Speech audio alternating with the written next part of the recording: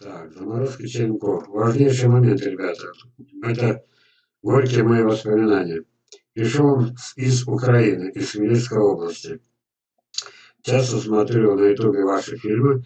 Много интересного узнал благодаря вашим фильмам.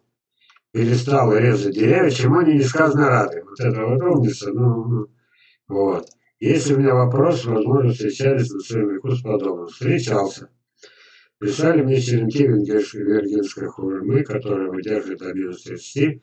Сейчас в Украине популярная тема среди садоводов. Занимаемся народной селекцией, экспериментируем. Так вот, мы пишем, кстати, в Сибирь. Можно ли остаток черенков из просто холодильника положить в морозилку? И так до следующего года.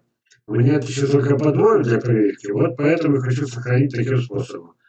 А подтолкнула меня к подобной мысли непроросшая, и забытая мною на год косточка той же курмы, которая пережила минус 25 и прекрасно нашла на второй год. Можно то же самое провести с щенками, ведь мало кто экспериментирует подобным образом. А вдруг действительно получится. Ну что я скажу? Помните анекдот, что я скажу, гражданин судья? Я сейчас хочу. Ну ладно, это на другую тему анекдот. Давайте так. Мой ответ такой, отрицательный полностью, сто процентов. Даже экспериментировать, пробовать нельзя. Итак, лет 10-15 назад мой земляк Черновцов, я все, вот такие вещи запоминаю. Помню область, вот, звонит мне, говорит, я принесу синьки, я привез Черновцов. Ну, вот, зовут Олег, даже фамилию скажу, потому что это живой человек, фамилия Сыроватка. Вот, э, дом купил, сад растил поселке Калы, возле Саяногорска, да. И вот, значит, мне Олег приносит вот такой веник черенков. Вот. И говорит, Константинович, они мне не нужны, но им нет цены. Эти 40 черенков, 40 сортов э, это, э, лучших, какие только могут быть у них на Укра в Украине, эти самые э, груш, 40 разных. Я собирал долго-долго и привез сюда. А теперь я посмотрел и решил, отдам-ка я тебе, у тебя они не пропадут, все. Вот. А я смотрю, они какие-то неживые. Я говорю, а что ты себе взял? Ну что, что? Я сейчас сюда, хитрил он или нет?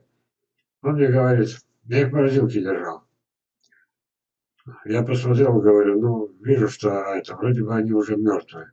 Ну, давай, это, я сейчас, где же теперь держать? Конечно, в холодильнике, но при маленькой плюсовой температуре. Отойдут и отойдут. И вот лежит этот веник неделю, вторую, третью, и чернеет, и чернеет. Оказалось, что он их заморозил насмерть. Как мне было обидно. У меня всего-то было 40 сортов груш на острове, когда, а я там привал на яблоне, на что угодно, на груши, на яблоне, и, и, и руки чесались. У меня уже получил эти такие особые груши на яблонях, необыкновенной расцветки, розового цвета, что-то у меня уже крыша вот такой, господи, ведь это чудеса какие, а потом сад сожгли. Вместе с 40 сортами груш. И здесь как-то 40 сортов приносит. Ну, казалось бы, все, счастье-то мое. И вдруг елки-палки, они все мертвые. Как я переживал, ну что его это, ну почему сразу не отдал?